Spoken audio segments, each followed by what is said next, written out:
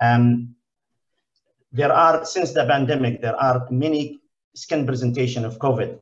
One of them is mainly in children, and this is called, uh, in, in, in UK and Europe, called pediatric multisystem inflammatory syndrome temporary associated with COVID. The American uh, no, name it is multisystem inflammatory syndrome in children, uh, or, or MISC, which is very, very similar to, um, to Kawasaki. And I think Dr. Adel Riyad has spoken to you about uh, um, uh, Kawasaki today. Then there are another five skin conditions, which is presented both in children and adults. And as you can see here, um, MIS and Kawasaki disease are almost similar. So both have high temperature, both have the well-known skin rashes, oral signs, eye conjunctivitis, eye signs like conjunctivitis, lymphadenopathy in both, multi-system failure and death in both sometimes, and laboratory, only the laboratory investigation that usually differentiate between these two conditions. As in uh, MISC, uh, usually you have the high fibrinogen, high uh, D dimers, uh, a high interleukin 6 and uh, interleukin 10.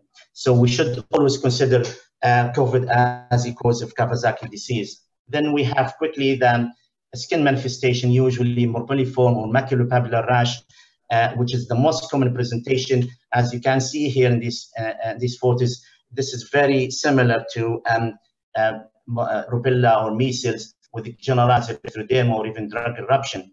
Um, another um, presentation is uri- urticaria, which is again common condition, usually settle down very quickly, usually very itchy, but usually doesn't associate with angioedema and usually affect the palms um, uh, uh, and, uh, and um, feet um, and doesn't need usually any treatment. As you can see here, affecting, here affecting the palms and a baby with an extensive urticaria.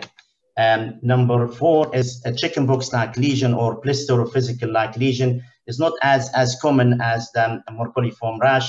Uh, usually the blister is very uh, itchy, uh, usually disappear uh, within within two weeks, and sometimes it carry poor prognosis because children or adults who have got chickenpox-like lesion usually have a very mild course of COVID. Um, uh, this is, as you can see here, the multiple blisters, vesicles that affect any part of the body. Um, then the most serious one is this condition, which is livedo reticularis again, with purpura, uh, purpuric rashes, necrotic and vascular lesion.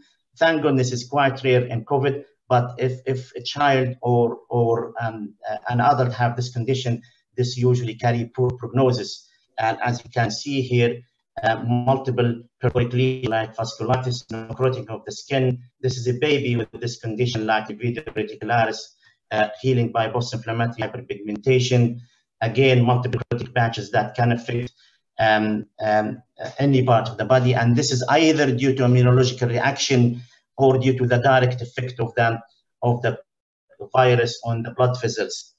The last um, condition is COVID toes, which is a very common uh, condition. Uh, usually have multiple erythematous papules on them with a change in the color of the toes and fingers, similar to chill planes usually itchy, can be painful, and more common in adults and children, and usually lasts for maybe two weeks, um, and usually appears later in the course of the uh, COVID and associated with less severe disease, less severe disease of COVID. Um, and this is how COVID uh, toes can present, and this is children with um, with uh, um, uh, COVID toes. Um, so uh, these are the most common presentation of COVID. And as I said, the livedo reticularis and the necrosis of the skin carries very poor prognosis. And interestingly, there's familial clusters, which means if you have a member of family, for example, have COVID toes, and then the infection passes to the rest of the family, almost all of them will, will have COVID toes too, for a reason we don't know. Uh, this is the link of the study if you would like to read about